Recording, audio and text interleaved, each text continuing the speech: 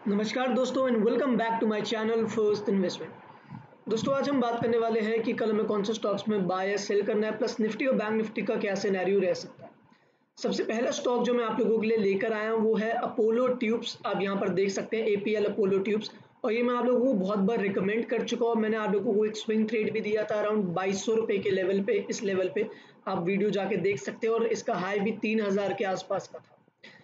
अभी भी इस पे बाइंग है और ये मैं आप लोगों को बहुत बार बता चुका हूँ। अब मैं आपको एक बार दोबारा बता देता हूँ। ये देखिए, एक अप मूव आई एक से ये एक अप मूव आई एक करेक्शन आया, एक अप मूव आई एक रिट्रेसमेंट आया। तो जिस लेवल से इसने क्रॉस करा था, वहीं पर ही रीटेस्ट करा। ठीक है?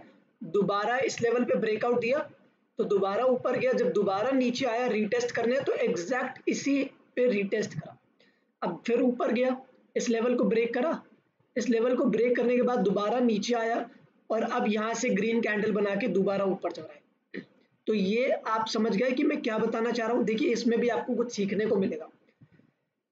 ये एक फ़र्स्ट मूवमेंट आई। फिर एक हल्का सा रिट्रेसमेंट आया। ठीक है? अब दोबारा ऊपर जा रहा है तो प्रीवियस हाई को ब्रेक करा। प्रीवियस हाई को ब्रेक करने के बाद जब दोबारा नीचे आता है, और प्रीवियस हाई पे ये पहले रेजिस्टेंस का काम करता था ना अब यहाँ सपोर्ट लेके ऊपर जाता है और फिर प्रीवियस हाई को ब्रेक करता है, फिर सपोर्ट यहाँ लेता है, फिर ऊपर जाता है तो ये इसे कहते हैं up trend higher highs higher lows बन रहे हैं। और बहुत अच्छे से फॉलो होता है, ये कुछ ही कुछ स्टॉक्स में फॉलो होता है और बहुत अच्छे से होता है। तो अभी इस स्टॉक पे फॉलो हो रहा है, अब यहाँ देख सकते हैं सिमिलर कुछ इस तरीके का बना है। यहाँ से दोबारा एक बाइंग स्टार्ट हो रही है मतलब इस प्रीवियस हाई को भी ये ब्रेक कर सकता है। अब यहाँ पर एक बाई इनिशिएट कर सकते हैं, अभी ये ट्रेड कर रहा है around two eight eight seven पे तो आप लोग यहाँ पर अपना बाय बना सकते हैं बाय अब बना सकते हैं around two eight nine two के आसपास। टू एट नाइन टू के आसपास इसके ऊपर आप लोग एक बाय इनिशिएट कर सकते हैं, या फिर अगर कल डिप मिलती है तो भी आप इसमें बाय इनिशिएट कर सकते हैं। मेरा प्रोबेबली इंटरडे का टारगेट दस पंद्रह रुपए ही होगा बट अगर लोग स्विंग ट्रेड इसमें करना चाहते हैं तो वो भी कर सकते हैं। अराउंड मेरा three hundred plus three thousand plus तक के टारगेट्स होंगे, और ये मुझे लगता है प्रोबेबली अचीव कर सकते हैं। नेक्स्ट स्टॉक आते हैं डॉक्टर रेडी पे।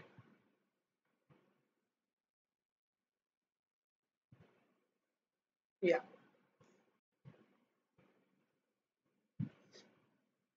डॉक्टर रेडी पे आप देख सकते हैं कि अराउंड 4200 से हमने एक तीन दिन के अंदर एक स्ट्रॉन्ग मूवमेंट देखी जो उस पर्टिकुलर लेवल को 1200 पॉइंट्स प्लस तक ये ऊपर लेकर चली गई थी। आप देख पा रहे हैं? ये तीन चार दिन पे ये हज़ार पॉइंट प्लस तक ऊपर गई है। उसके बाद हमने क्या देखा? हॉल्ट कर रहा है ये। ये देख रहे हैं? एक स्ट्रेट मूवमेंट फिर एक चैनल के अंदर जा चुका है और अब क्या कर रहा है? ये इस चैनल के हायर रेंज पे ट्रेड कर रहा है। तो ये जैसे ही कल ब्रेक होगा, जैसे ही फिफ्टी टू हंड्रेड का लेवल ब्रेक होगा तो एक अच्छी खासी बाइंग इसमें भी इनिशिएट हो सकती है। तो कल हम इसको भी एक ट्रेड लेकर चल सकते हैं। इस पैटर्न को हम लोग क्या कहते हैं? पेनेंट पैटर्न ठीक है? पेनेंट पैटर्न इसको हम कहते हैं तो बुलिश पेनेंट पैटर्न होता है, इसके ऊपर हम लोग एक बाय इनिशिएट कर सकते हैं। नेक्स्ट स्टॉक आता है।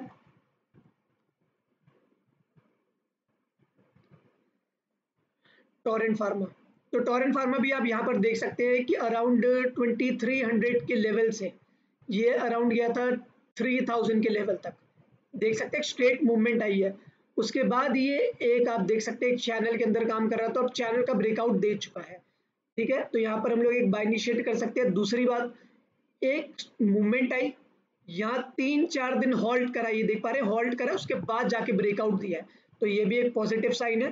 तो यहाँ पर आप लोग एक बाय इनिशिएट इस पर भी कर सकते हैं। कल अगर थोड़ी बहुत डिप मिलती है तो मैं कहूँगा कि एक बाय इनिशिएट आप लोग कर सकते हैं। क्योंकि अपने इस लेवल से थोड़ा सा ऊपर जाके बंद हुआ है तो हो सकता है कि कल हॉल्ट करे और अगले दिन ब्रेकआउट दे।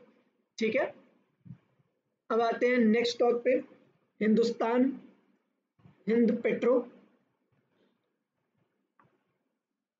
या हिंद पेट्रो जो ट्रेड कर रहा है, मैं आपको यहाँ दिखाता हूँ। ये देख सकते हैं।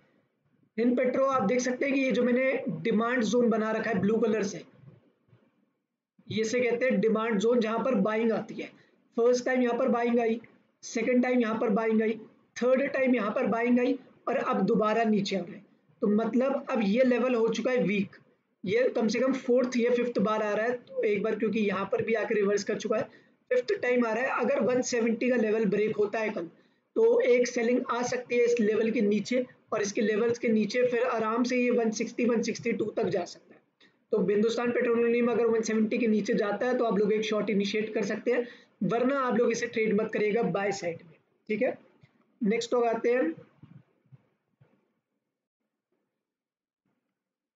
जीएमआर इंफ्रास्ट्रक्चर जीएमआर इंफ्रास्ट्रक्चर पे अगर मैं आप लोगों को जूम करके दिखाता हूँ।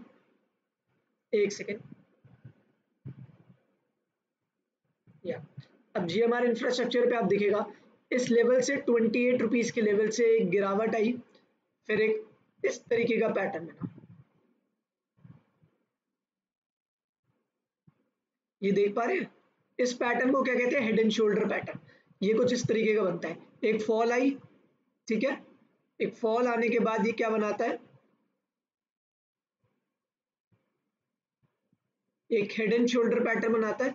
और जब ये लेवल ब्रेक होता है तो ये अपने सीधा प्रीवियस टॉप पे जाता है।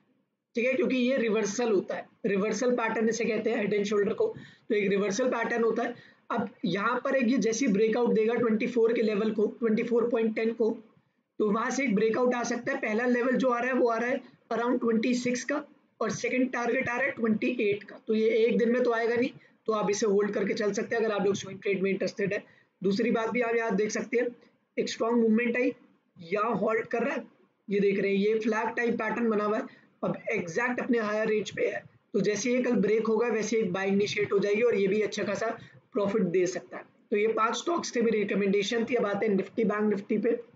इसके जो भी टारगेट्स होंगे, किस लेवल पे बाय करना है, वो सारा आप लोगों को टेलीग्राम चैनल पे प्रोवाइडेड हो जाएगा। तो अगर आप लोग टेलीग्राम चैनल पे हमारे ज्वाइन होना चाहते हैं तो नीचे डिस्क्रिप्शन पे लिंक है, आप जाके ज्वाइन हो सकते हैं। और हम लोग कोर्सेज भी प्रोवाइड करवा रहे हैं। तो अगर आपको कोर्सेज की डिटेल चाहिए तो उसके लिए भी मैंने एक वीडियो बना रखी है। उसका लिंक भी नीचे है। अगर आप लोग एडवाइजरी पेड कॉल्स भी चाहते हैं तो उसका लिंक भी नीचे है। आप जाके देख सकते हैं अराउंड फोर फिफ्टी रुपीज़ पे आपको कोर्स भी प्रोवाइड हो रहा है हमारी तरफ़ से, और पेड कॉल्स भी प्रोवाइड हो रही है। पेड कॉल्स मैं नहीं कहूँगा, मैं उन कॉल्स को कहूँगा जो मैं बाय कर रहा हूँ। ठीक है? तो आप लोग अगर इंटरेस्टेड हैं तो उसमें शो कर सकते हैं, या नीचे नंबर दे रखा है। अगर आप लोगों को इंटरेस्टेड है क्वेरीज के लिए तो आप वहाँ पर कॉन्टैक्ट कर सकते हैं। अब आते हैं निफ्टी पे। निफ्टी पे अगर मैं आप लोगों को बताऊँ तो सबसे पहला जो था 11,600 का जो कि ये लेवल था। ये लेवल देख रहे इस लेवल के ऊपर मुझे नहीं लगता था कि ये क्रॉस करेगा बट क्रॉस करा फिर क्रॉस करा फिर था ये लेवल जो कि एक इंपॉर्टेंट था। जहाँ पर एक स्ट्रॉन्ग रेजिस्टेंस था एक सेलिंग प्रेशर आया था बहुत तेज़ी से तो वो लेवल को भी ब्रेक कर चुका है और अब ऊपर जाके इसने एक इनडिसाइजिव कैंडल बनाई है। ठीक है? तो अब ये लेवल देखिए, मैंने आपको क्या कहा था कि एक रेजिस्टेंस होता है तो वो एक बारी में ब्रेक नहीं करता। वो पे वेट करता है, थोड़ा बहुत इसी लेवल पे फिर ब्रेक करता है। बट अगर कोई रेजिस्टेंस को सीधे मूवमेंट से ब्रेक कर दे, और वो भी स्ट्रॉन्ग रेजिस्टेंस को तो इवेंचुअली वो ब्रेक तो कर देगा बट वो फॉल्स ब्रेकआउट होता है जब तक दो दिन तक उसके ऊपर ये सस्टेन ना करे।